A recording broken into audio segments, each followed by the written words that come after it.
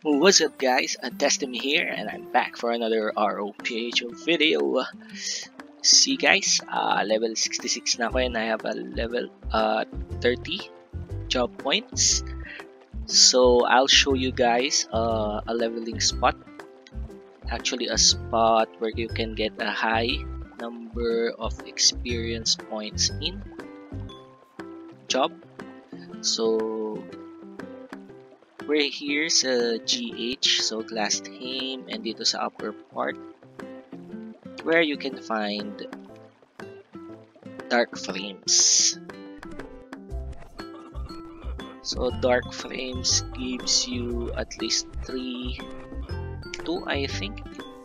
Let me check. Uh,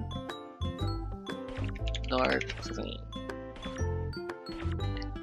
Ayun, so 3, 6, base experience and 3-2 job experience. So, merong 4 parts dito sa map na to. 1, 2, 3, 4. Nahati siya sa 4 quadrants. And the best leveling spot for me is this lower right. And since you're a stalker, you have the skill called Snatch. Yan, so we're here. So as you can see here is a dark frame and all you need uh, all you gotta do is snatch the other monsters and leave the dark frames here on this side of the map. So as you can see dark frames lang ang makikita nyo dito. And since walang tao ngayon, walang kaagaw so okay. Kaso minsan may iba so kumakalat. So parang Gefenia lang din siya. Succubus diba doon ang inaano natin hinihiwalay. So dito naman dark frames. So yan labas muna tayo.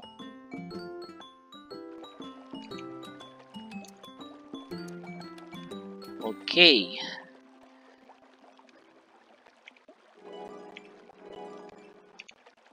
So for my equips guys, as you can see I have a ring already for demon monsters since demon and dark frame.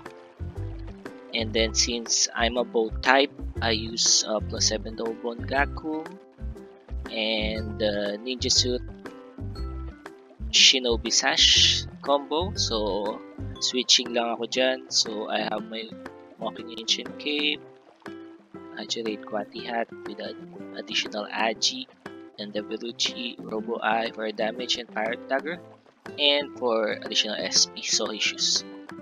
Sandals to be exact.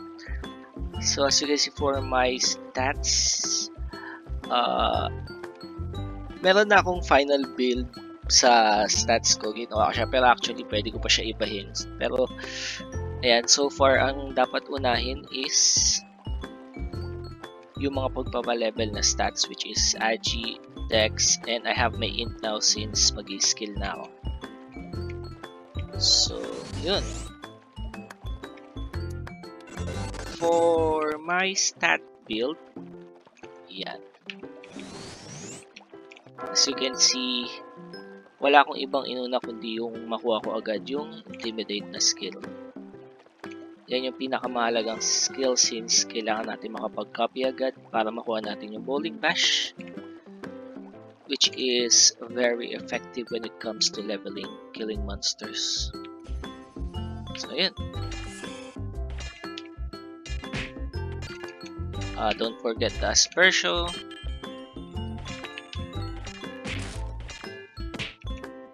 Yan. So, 3 hits. Actually, tignan natin kung makakatulong to sa... And let's go! Pa-level na tayo. Enjoy guys!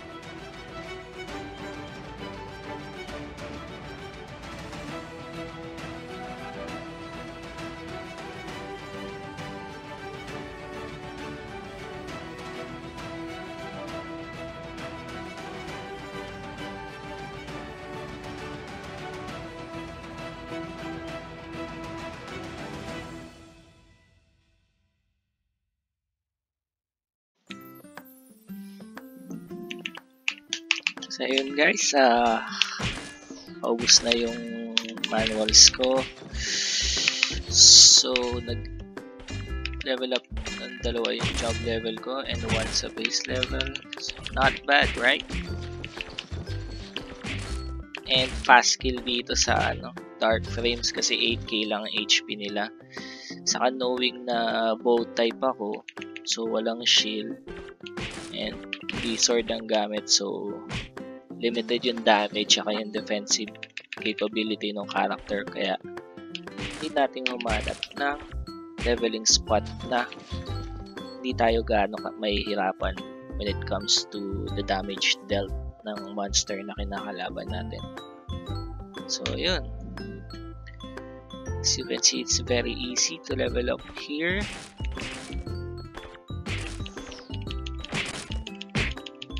Kapag nag-skill lang sila nung parang mirror, parang torn mail something na bumabalik yung damage mo yun. Be careful lang. So, laban lang sa pots. So, yun guys. Currently level 67 base and job level 32. Here are my equips and my stat build. So, yun guys. Uh, thank you for watching and subscribe to my channel and like the video for more of these videos because I'll be making more of these. So yun nga sabi ko habang nagpapalevel ako, papakita ko sa inyo kung saan ako mga spots nagpapalevel. And yun guys, thank you very much and have a great day. Bye-bye.